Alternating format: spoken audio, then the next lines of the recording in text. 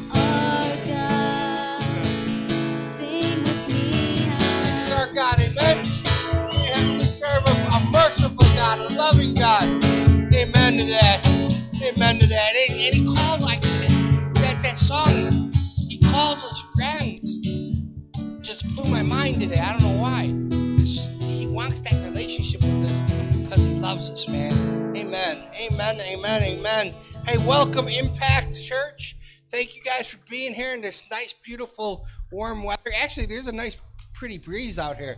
Um, if, you, if you get too hot, go get a water. If you're watching this online, I, I hope you're enjoying it in, uh, in the comforts of your home.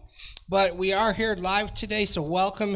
And if you're a first time guest here today, make sure you stop at the connections table over there and get your. We have a gift for you. We want to get to know you and um, start a relationship and, and, a conversation with you. So uh, if you are on Facebook, follow us Facebook, YouTube, Instagram. We put up our messages up there.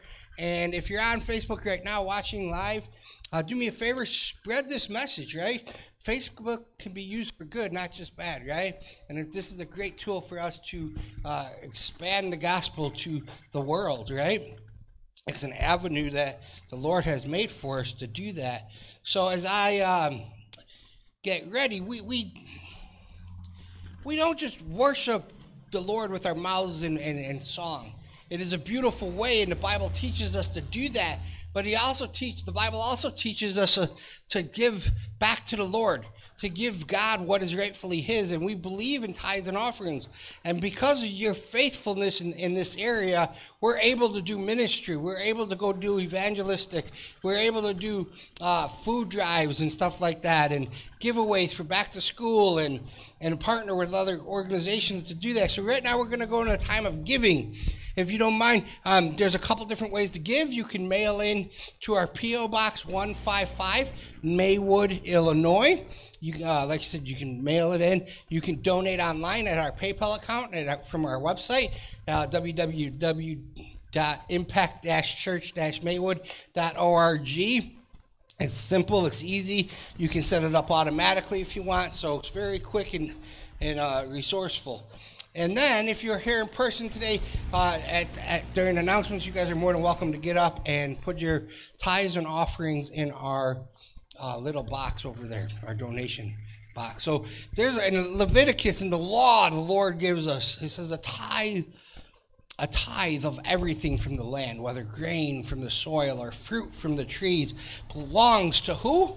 To the Lord. It's, and it says it's, it's holy. We, when we give something to the Lord, it becomes holy because He He redeems it back.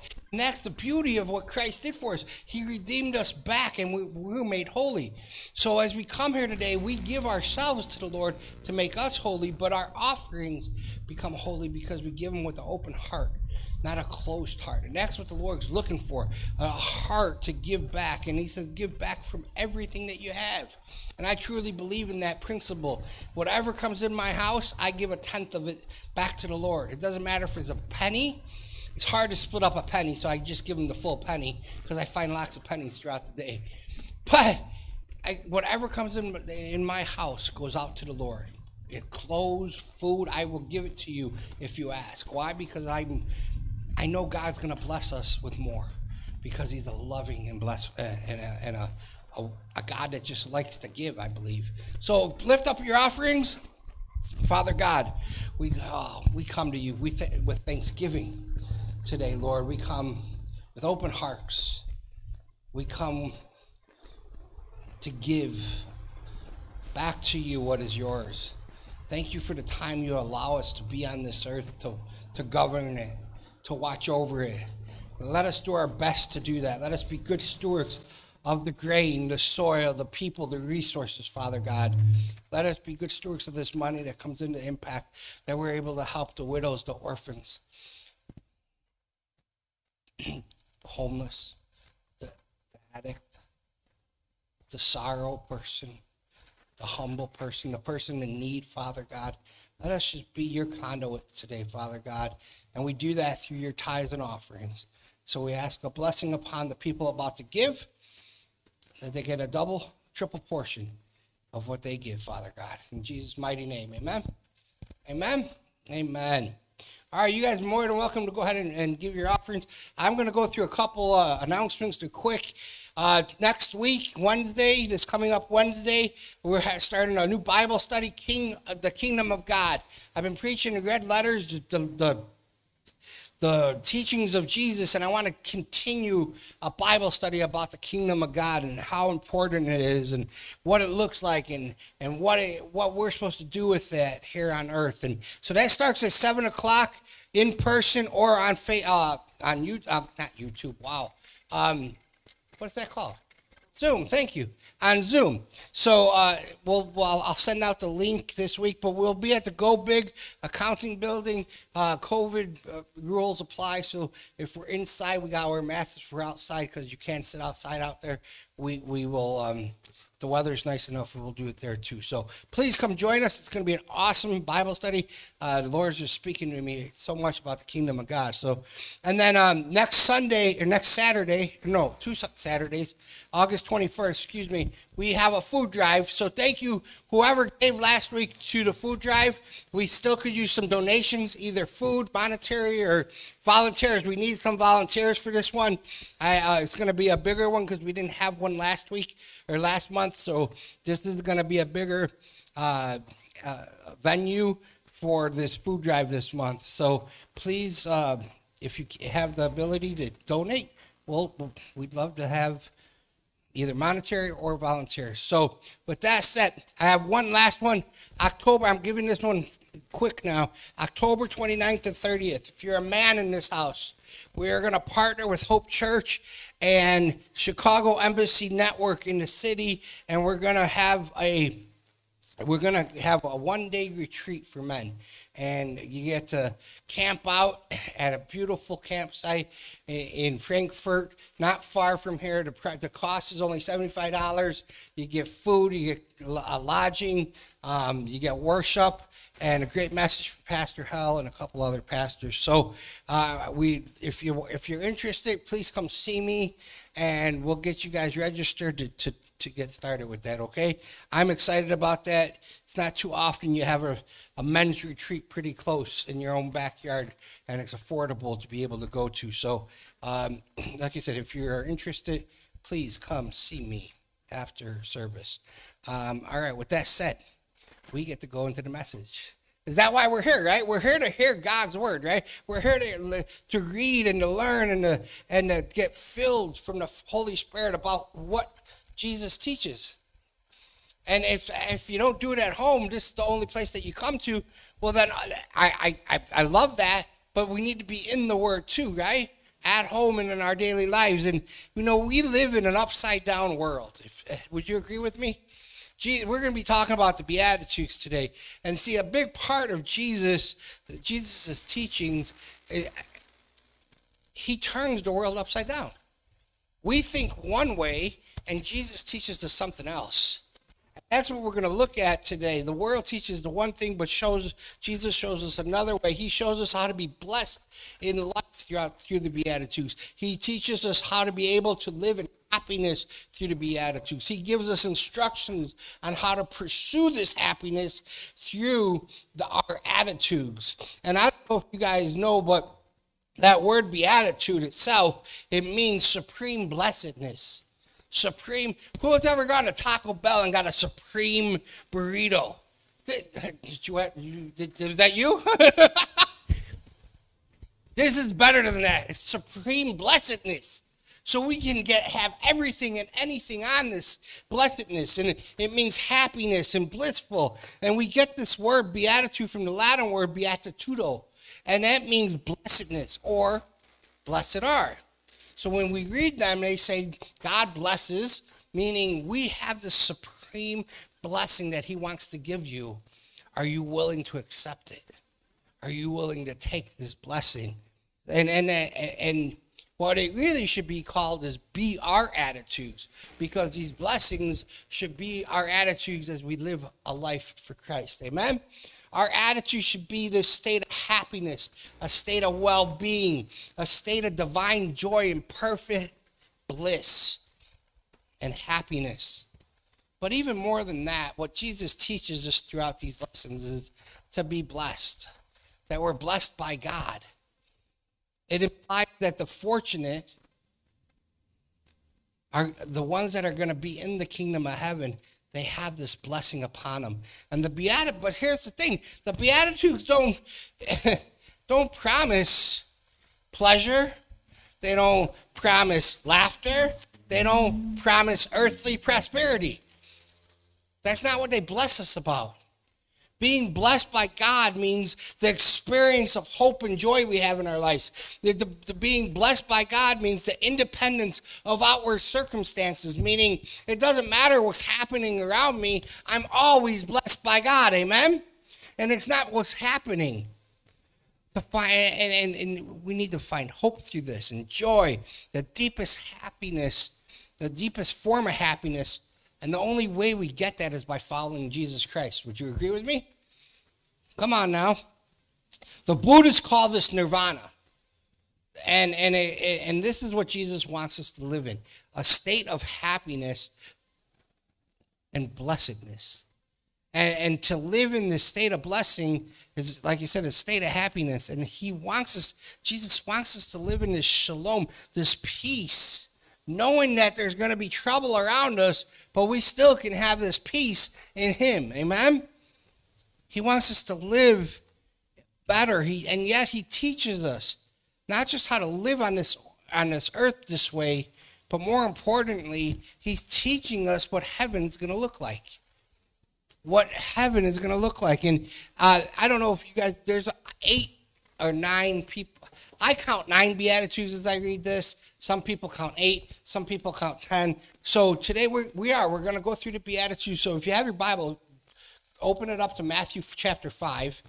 And as we go through this, I'm not going to go through all of them today. And I'm reading from the NLT. I like it. It uses simpler words for people. And um, it's just kind of words that we talk at, um, or at least Pastor Anthony does. um, and we're going to break this up into two parts part one today and part two next week. So we're going to go through half of them today, about four of them today.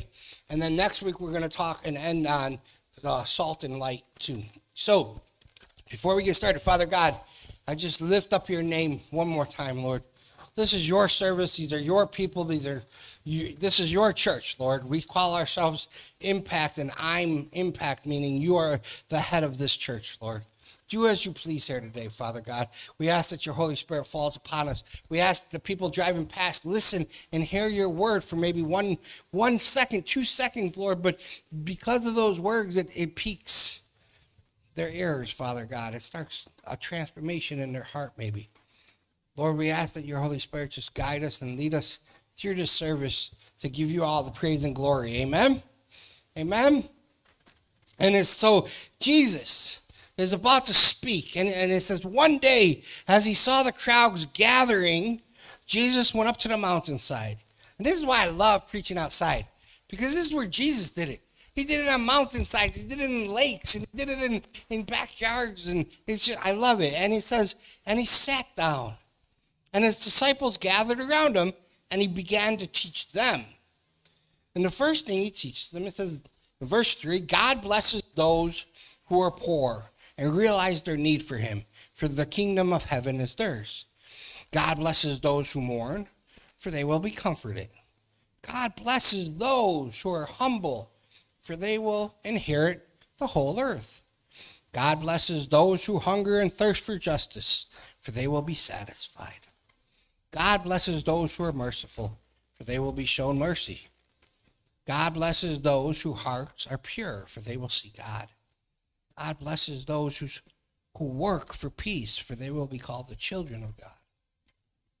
God blesses those who are, who are persecuted for doing right, for the kingdom of heaven is theirs.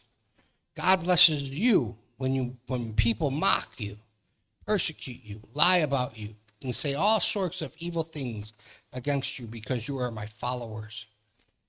Be happy about it. Be very glad, for a great reward awaits you in heaven. And remember, the ancient prophets were persecuted in the same way. Verse 13 says, and this is not the end of, this is the continuation of, of the Beatitudes. It says, You are the salt of the earth. But what good is salt if it has lost its flavor? Can you make it saltier again? It will be thrown out and trampled underfoot as worthless. 14 says, You are the light of the world, light like a city on a hilltop that cannot be hidden. No one lights a lamp and then puts it under a basket. Instead, a lamp is placed on a stand where it gives light to everyone in the house. If in the same way, let your good deeds shine out for all to see, so that everyone will praise your Fatherly heaven. Amen. Amen. Man, this is such a beautiful, beautiful teaching from Jesus. And and I, I you know, and he's teaching his disciples at first, which we'll get to in a second. As the crowds were they're gathering, right? And and and they're coming up to the mountainside. Instead of just teaching everybody, he grabs his disciples first, the people closest to him, and says, "Come here. I want to talk to you guys. There's something happening, and I and you need to know about it before anybody else." And he grabs them. And in these teaching, Jesus proclaims the attitude toward toward uh, the law to his disciples. And what he what and and he he just do that. He proclaims what he's teaching about his position, about authority, about money, that they're not important in this world. To the kingdom of God, the, the, this world looks at that stuff, position and authority and money. But what really matters, and this is what Jesus is trying to teach him, is that it's the heart level that matters. That's what God is looking at. Your heart and the faithfulness and obedience that we give to him. And see, this message, it challenged the leaders at him. And he called them back to the message of what the Old Testament prophecies were, were teaching, the Old Testament prophets were teaching. Jesus taught that you, you need to be heartfelt and obedience. It's more important than the legalistic ramifications and observations of the law. And that's what we're going to look at today. We're going to look at the different. I, I know I've been teaching from Jesus, just teach Jesus's words, but Jesus's words came from somewhere. And if and, and the word says that the, the, the prophets, the Psalms, they were written about Jesus. And so we're going to take a close look at today what Jesus said, what the Old Testament said, what the worldview says, and what the New Testament teaches us, and how it all co- co- coincides with what Christ says. Amen? That's teaching, understanding what the Word of God says. So before the crowds gathered, he grabs them, he pulls them together, and he's kind of like you guys right now. You're all grabbed together right here, and I get the opportunity to speak to you, right? And this is what's happening with Jesus, and, and passer buyers are probably happening with Jesus, right? Why? Because they're on a mountaintop, and and and and so he grabs them. And what he starts to do is he starts to warn them about temptations, the temptations that they're going to face in, in this life. That's and that's and, and first off, so what he does is Think about it. His disciples at that time are sitting with Jesus, who is very prestigious, a very well known man at this point, right? So, because of that, they're hanging with the popular man of the time. I'm not that popular. So, you guys are hanging with somebody, but I'm not that popular. right? But they're hanging with somebody that people knew from towns to towns. The word is getting out there about Jesus that people are just coming to the mountainside now. And what and this is what's important. They could have what he wants to teach them is, hey, yeah, you hanging with me, but don't think you're that important. Don't let pride get in the way. Don't be possessive. So he teaches what he starts to do is to teach them how to avoid the traps of this world and turn them upside down. Because that's what's going to happen. And the first thing he teaches them is not is the first the first beatitude. Realize the need of God. That's the first one. Realize the need for God. And that's what it says in verse 3. God blesses those who are poor and realize their need for him. For the kingdom of heaven is theirs. So he was teaching them, guys, you need God. You need the maker. You need to come back. Does that mean we're supposed to be poor literally in everyday lives? Does that mean I go around and I, I just throw my money away, just blow it? That's not what he's talking about here. He's not talking about poor money. He's talking about people's hearts, their spirits, that we get down and out at times. And that's what and and, and that and how to get that back is to seek his kingdom first, like I talked like last week about seeking his kingdom first, and all these others things will follow. Amen. In the Old Testament, what Isaiah the prophet said, he said, the high and lofty one who lives in eternity, who do you think that is? Who do you think that's a reference to? Jesus. The Holy One says, I live in the high and holy place with those whose spirits are contrite and humble. I restore the crushed spirit of the humble and revive the courage of those who repent who have repentant hearts. I love that. I live in the high and holy place with those spirits that are contrite and humble, that have repented. These are the people in this world that right now they see gloom and doom and don't have much to live for. And that and but that's who Christ is looking for to give them hope because there is hope. There's hope of a better place. There's hope of to be with him in heaven, to have come into heaven come down on this earth and be a part of that right now that when we get there we can call it our own but the worldly view how what what happens with the worldly view uh, we put our pride and our own personal independence first. Then we think we should be getting blessed. That you know first then the blessing the happiness that comes from god to us but we need god but when we need god he's not there. Let me explain what I mean by that. So, how many people have you met that are they call themselves self-made millionaires or self-made man or woman, and they walk very pridefully and and very high and mighty, right? You've seen people like that, right? This is this is what Jesus is talking about. That they're doing it on their own, and eventually their spirit's gonna get broke. How do I know? Because that was me. I've walked that road, and it and it was ugly. And at this time, so they live this life for themselves, basically, right? And and and I talked about the Buddhists call that nirvana, and that's what it is. That they do it on their own. There's certain steps to reach this blessedness. But what the thing they left out is they're never going to reach that blessedness because they don't know our true maker. They don't know how much uh, the God of the world loves them. See, they believe we can achieve everything on our own, but we need to realize this is what Jesus is teaching. We need to realize that we can't do this on our own. But the only way we can do it is through the power of the Holy Spirit. Amen. It's God's God's reward for us when we it says when we put our dependence in the Lord, the, the promise, the blessedness we get is we can have the kingdom of heaven. It says. We can have it. It's ours. It's for the taking. And how do we develop this attitude? Because that's what it is. It's an attitude every day to live this way. Yeah, I can't do things on my on my own. My my spirit's not poor, but I know maybe it's not poor. Maybe maybe you're not in that place like oh I'm just sad, depressed, whatever. But you know You can't do it on your own. So, how do you keep building this attitude on a daily basis? Hey, do you guys mind?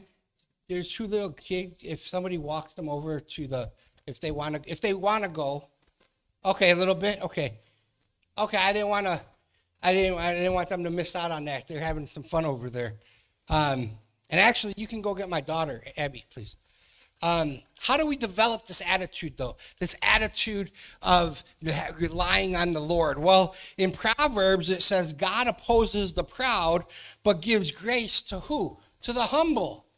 He gives grace to the humble. In James, I love what James guys. So, and James is who? Christ's brother. So humble yourself before God. Resist the devil and he will flee from you. Come close to God and God will come close to you. Wash your hands, you sinners. Purify your hearts, for your loyalty is divided between God and the world. See, when our attitude is focused on Christ, focused on our Maker, and we take the worldview out of it, we get the kingdom of heaven. But when we're divided and we live, this is the line, and I live one one step over here and one step here, my spirit is divided, isn't it? I'm always getting tugged by both sides. You either got to make a decision in your life, and what point of your life saying, I'm not going to live for the world views. I'm going to live for God's views and the blessings that come with God. And if that means that my spirit has to get broken a little and I have to become humble and I have to submit, well, that's what I have to do. But if I live over here, I have a different outcome. I'm not going to heaven.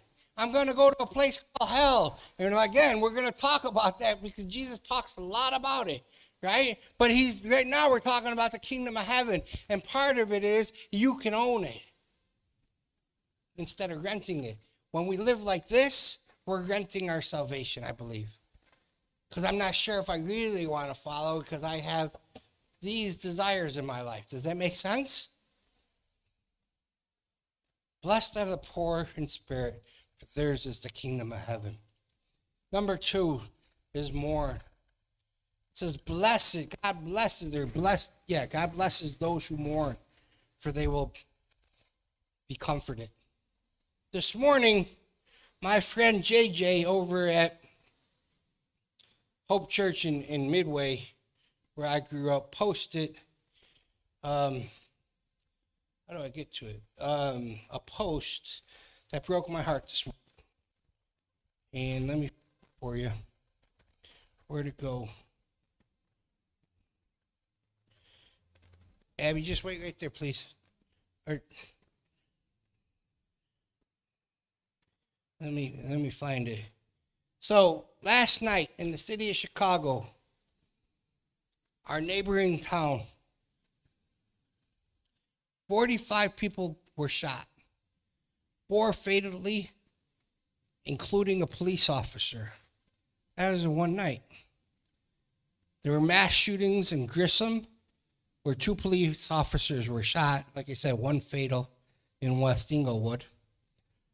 So far this month, how many days are we into this month? Eight days. 155 people have been shot, 23 fatally. Do you think people are mourning right now? We have friends in this neighborhood that have been uh, shot and killed because of gang violence, because of drugs. We just, well, a friend of ours we had to bury last week because of this. See, in a world, this world has many, many things to mourn about. Like I just said, death, illnesses, shootings, racism, hatred towards one another. We, but we have to remember that these are the weaknesses of a fallen world. I want to take a moment right now and I want to pray for the city of Chicago. And I offered this to uh, anybody in the church that wanted to pray. And I'm blessed because my little girl said she wanted to come pray for us and pray for the city of Chicago. So come here, baby. You want to pray? All right, it's your turn. Please let everybody stop killing everybody and let them um, let them find God in their soul and let them stop killing and stop gunshotting and stuff like that. Amen. Amen. Thank you, baby. You can go play again. That's awesome. Jesus says, Bring the children to me, doesn't he? And have faith like a child. She's five. She doesn't know what the world has yet. She sees what the parents teach us, right? But we as adults teach them. And she sees God and she realizes that He's more powerful than this world. She realizes that she can put a faith in a loving God, right? But there is mourning happening, there's sadness happening. But when we take a step back, we take this we take a look at God's, when we take a look at God's heart, we realize that it means more than just mourning for the things that we mourn over. But we also have to mourn what God mourns about. Because God mourns about unfaithfulness, immorality, doesn't he? Cruelty that are all rampant in this world. So if, if we have to have the same will as Christ, and that these are the things that he mourns about. In the Old Testament, Isaiah again writes, The Spirit, I love this passage. When the Lord called me to Maywood and to be a pastor, this is the passage that he threw at me, and I, it hit me like a ton of bricks. And then when I realized that Christ said these same words, I knew my calling in life. They said, The Spirit of the sovereign Lord is upon me, for the Lord has anointed me to bring good news to the poor.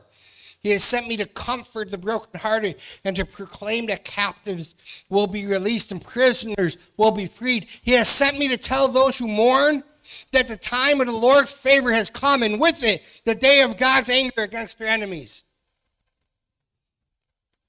That's our job to tell people. There's people mourning out there from sicknesses and death and, and drugs and alcohol, and they're mourning. Their souls, their spirits are broken and they're poor. And our job is to tell them that the Lord's favor has come because without Christ, I can't say that, but He came. And we are conduits to that. We are His vessels now because you're a believer. So go tell somebody about it. Give them that hope to not mourn. Console them. Listen to them. Because God's anger, it says, is against their enemies. There's hope there. They don't have to fight the battle themselves. But the worldview says we can achieve happiness at whatever cost. And that's what it teaches us. Go do whatever you want. Go lie, cheat, steal. Go murder if you have to to be happy. As long as it benefits me, myself, and I, and it makes you happy, go do it. And tell me I'm wrong if that's not what you see out there. Come on. I see it daily, don't we? But Jesus tells us to pro- proclaim it. Proclaim to the ones that mourn that God's favor is upon them. His anger is against their enemies. It's not against you, it's against your enemies. And that promise should be comforting to us knowing that our God loves us and his favor falls upon us. And that's the re- reward we get from it. That's the blessing. We get comfort in our Lord, from our Lord. How many of you need to be comforted today? Right? I know that feeling. Well, how do I develop this attitude throughout my whole life? I'm not going to read it, but I want you to go home today and read Psalm 51.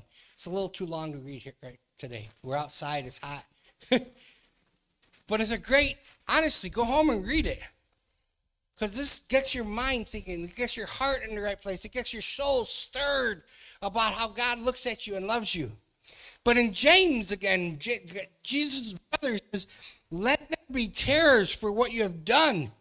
Let there be sorrow and deep grief. Let there be sadness instead, let there be sadness instead of laughter, and gloom instead of joy. That sounds depressing, don't it? But there's a but. There's that but again from last week, right? We were talking about there's always a but. And it says, humble yourselves before the Lord, and he will lift you up in honor. Meaning it's not I can do everything. It's God can move mountains. And when I humble myself, He's going to honor me. That means in business, I don't have to be pushy and, and, and, and in even in life, and to get my way, I shouldn't be I should be humbling myself. I should be doing it with an open heart. I should be serving instead of demanding. And when I'm humble and I give the Lord glory for it and I do it His way biblically, He's going to honor me. Because I'm honoring Him with my body, I'm honoring Him with my attitude, I'm honoring Him with how I portray myself. Amen? And that leads us to number three. Third attitude that should be our attitude is humbleness. To be humble. Says God blesses those who are humble. Some translations say meek, for they will inherit the whole earth. When you hear that word, humble or meek, what's the somebody yell out if you want? What first thought in your head when you hear humble or meek? What's like the first description of that word? What? I can't hear you because of the car. Get some. Oh, gentle. okay. I'm like, get some. Get some what? Gentle. For me, it's weak. Because I grew up kind of rough. I thought if I pushed my way through stuff and I did things my way and not anybody else's way, yeah, I, I was kind of a bully. I wasn't humble. I wanted, I, you know, I wanted the spotlight all the time. And this is exactly the opposite. So I, when I hear these words, I think of weakness. But that's not what God's telling us. That's not what Jesus is teaching us. This is not the case in the kingdom of heaven.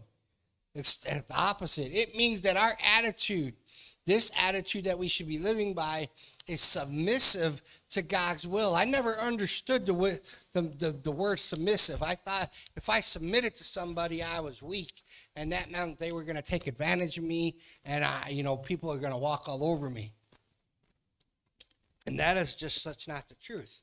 Because when I humble myself, God honors me. Am I living for the world or am I living for God? And that means if the Lord, if people take advantage of you because you're humble and you're nice and you're meek, so be it. You know why? Because God's going to honor me for that. And I have a place in heaven that I'm never going to, that's never going to happen to me again. I'm going to be sitting with him blessed in happiness. And I could have that right now if I change my attitude. Right? Jesus said that the first will be last and the last will be first. He was teaching us about humbleness. Submit to people. It's okay. It happens in life. And when it does, I will honor you. And that means that our power driven world, and that's the worldview, if you're taking notes, power driven world is the worldview. And, and they, and it's, again, me, myself, and I, and I'm going to get whatever I want, whenever I want it, and however I want it. But God's view is a servant's heart, a humble attitude, meaning it's not about us, but it's about God's will and putting Him first in everything we do. Amen. And our reward, I love it. Another reward, another blessing, is that when we put others first in our lives and we humble ourselves, we inherit the earth. So the goals and dreams, and I, I truly believe the goals and dreams in your heart, if you live life a certain way, the Lord is going to give you your desires. He's not just going to give you your needs, but He's going to honor you because you're living a certain way. And it might not be tomorrow, it might not be a month from now, it might be five years, 10 years, but you, He's going to honor you with the earth. He's going to honor you with your needs. And I mean, excuse me, with your wants and the dreams that He's put in you because they come from Him and those desires. So, how do we keep developing this attitude throughout the day as we live life? Well, give them our burdens. Jesus said in Matthew 11, he says, Then Jesus said to me, or said, Come to me, all who are what? Weary and carry heavy burdens, and I'll give you rest. He says, Take my yoke upon you. Let me teach you because I'm humble. He says, I'm humble and I'm gentle at heart. That's our attitude humble, and gentleness. And you will find rest in your souls. So, how do you get rest in your soul? Did you ever wake up in the middle of the night and you're like, ah, all anxious and worried? And he just told you, humble yourself. Give me your burden. I have a I have a heart. It's not heavy. It's not it's not heavy on you. Give it to me and it'll be gone. And now you don't need to be anxious anymore. Now you don't need to worry anymore. Who likes that? Who who likes living in anxiety and depression and right? Mental health and here it is. Here it is. And I will the burden I give is light. Amen. Number four, our last one. Hunger and thirst for justice. It says in verse 6 God blesses those who hunger and thirst for justice, for they will be satisfied. Isaiah writes again in the Old Testament, chapter 11, verse 4 He will give justice to the poor and make fair decisions for the exploited. If that's all you ever read, think about what it just said and what Jesus did for us on the cross. He gave justice to the poor and what Jesus is teaching. So when you hear God blesses those who are poor, where do you think that came from? It came from God speaking to Isaiah, and God, and, and I talked about this months ago that Jesus saw what the Father did, and and and he only saw what the Father did, so he can only do what the Father does, because right? And this is what the Father told Isaiah, and, and it's proclaimed about Jesus. So guess who can do it? Our our Savior. And it says, uh, He gave justice to the poor and make fair decisions from the exploited. The earth will shake. What happened on the third day in the grave? The earth shook, and the tomb was empty, wasn't it? And it says, by the force of his word, and one breath came from his mouth and will destroy the wicked, which is the end of time. When the Lord wants and it's his timing, all this wickedness that we're talking about will not be with us. Amen to that? No more mourning, no more sadness, no more tears. See, the foundation, foundational requirement for godly living is the hunger and thirst for righteousness. And this is what Jesus is teaching us, and Isaiah was, was talking about our Savior. And we see this all through the from Moses to the Psalm writers and to Paul. If you want to, yeah, if you, if you want to come string, you're more than welcome to. Um, the spiritual see the spiritual con, uh, spiritual condition of Christians all throughout their lives it has to depend on this hunger and this thirst. What am I hungry hungry and thirsty for? Well, for one, the presence of God in your life.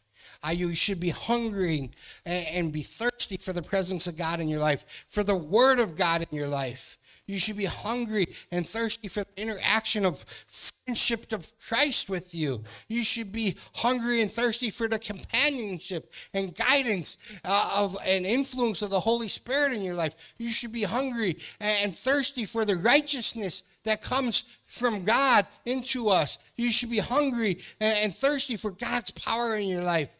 And lastly, you should be hungry and thirsty for the return of Christ when he calls uh, his, his chosen people to be with him in heaven. Amen?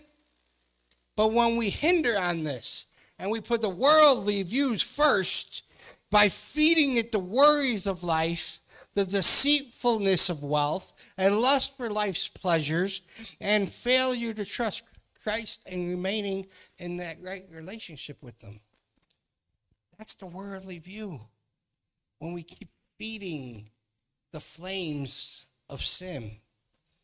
But when we realize and we have this attitude of satisfaction, of attitude of gratitude in everything that we have, then we can have this peace and happiness that comes from the Lord. Amen. Paul writes, this is, Paul writes and tells us how to develop this attitude. So how do we develop this attitude? And I'm going to close with this verse. It's kind of, it's not long, but it's, and then I'm going to talk about it. Philippians 3, verse 7 through 11. And it echoes, it echoes what Christ is teaching right here. He said, I once thought that these things were valuable, but now I consider them worthless because of what Christ has done. He valued what people thought about him. He valued the law to the point that he was uh, he was basically a murderer. I mean, he was he was killing the early church, right? He was having people uh, assassinated, basically. He valued what the world had for him. And he says, Once I thought that these were valuable, but now I consider them worthless. Why? Because Christ, what Christ did for me. Yes, everything else is worthless when compared with the infinite value of knowing Jesus Christ is my Lord. He had that aha moment on the way to Damascus in the middle of desert road, and he struck him down and said, What are you doing? And he says, Lord, I'm yours. And he has this relationship, starts this relationship. He has this spiritual Holy Spirit moment when the Lord grabs a hold of his heart and he realizes everything that he was taught about law was about law, not about relationship. And it was about not love, it was about doing stuff in a certain way to live for righteousness. And that's not what Christ wanted. He wants your heart.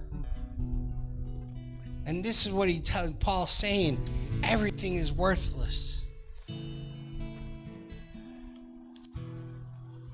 For his sake, I have dis- discarded everything else, counting it all as garbage. I can ga- gain Christ and become one with him. I no longer count on my own righteousness through obeying the law.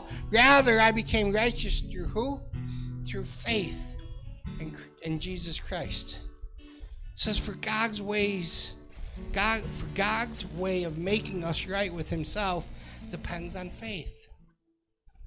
I, he says, I want to know Christ and experience the mighty power that raised him from the dead. I want to suffer with him, sharing in his death, so that no one or uh, anyone else, that, so that not one way or another, I will experience the resurrection from the dead. Let me read that again because I messed it up. I want to suffer with him, he says, sharing in his death, so that one way or another, I will experience the resurrection from the dead. Paul realized that what Jesus was teaching was from God. It wasn't about the law, like I said. It wasn't about uh, doing what right and wrong. It was about doing God's will and having a heart that loved Him having a maker that cared enough for him that he sent his son. And he said, if I can't have this relationship with them, I, I don't need anything else. Everything else is garbage. I need Christ, and the only way I can get become righteousness is having faith in Christ. And if I don't have this faith in Christ, what am I putting my faith in the world? I already seen what that's done. I see the way we treat each other. Me and Anna were talking about she's reading the Bible uh, from front to, to, to finish, and it's, it's, her first time doing that, right? And she, she's in uh, Second Kings, and we are talking about how how they didn't learn from their mistakes, and we see that now that we're still living in this. We could be living with heaven on earth if we put our faith in the Maker, but not just putting our faith, then being that conduit, being that those people that go and be salt and light to the world, which we're going to talk more about next week. But it's having that faith in Jesus Christ. It's having that faith in God, that in Jesus and what He did for us on the cross. It's having that faith to say, Lord, I can't do this on my own. I need your blessings. I mourn. I suffer. I'm heart. I'm heartbroken, but I need you. If that's you today, and you suffer and you mourn and you have uh, you need to humble yourself and you need to find christ and, and to come to christ because you don't have that faith in him. You don't have him as your savior. You don't have him as as your maker. That's you today don't be ashamed of that. Be proud of that and say that's me. Lord that's me. I need you I'm tired of living for my, myself. I'm tired of, of living the way I'm living. I'm tired of drinking. I'm tired of doing drugs. I'm tired of not having a dime to. Lord, I need you. If that's you today and you're watching on, on online or you're here in person, please raise your hand, wink at me, however you get my attention. Because God loves you. If He didn't, He wouldn't have made you.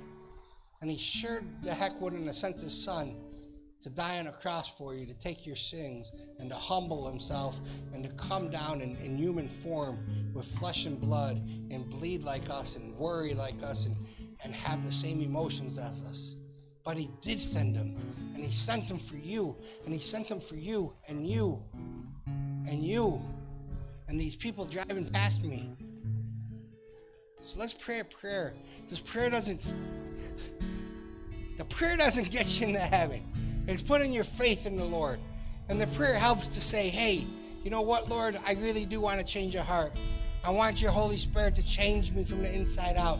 I want your will to be my my will. So it's done on earth as it is in heaven. Amen.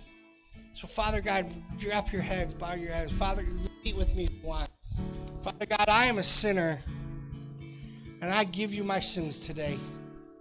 I ask that you wash me clean. I ask that these blessings, these beatitudes, become my attitudes so I can go bless others, Father God. I ask that you pour your Holy Spirit into my heart, my soul, my spirit, my mind, so I can do your will, your ways, and have heaven on earth. Lord, we love you. And thank you for accepting me as your child. I want to live the rest of my days with you. And we all said amen. Amen. And thank you guys for being here today. We uh next week if it's like this again, we'll be outside, okay? Um but the Lord loves you. He truly does. Might not look like it with what you're going maybe going on in your life, but struggles are not a bad thing. You can learn from them. And as you learn from them, go teach that to somebody else. Because somebody else is struggling just the way you were. And that might be why you're going through what you're going through. So you can be an example to somebody that needs to hear it. Amen. So remember, we have a saying here be a B A B. Be a blessing, okay? God bless you guys. Have a great week. If you need anything, let me know.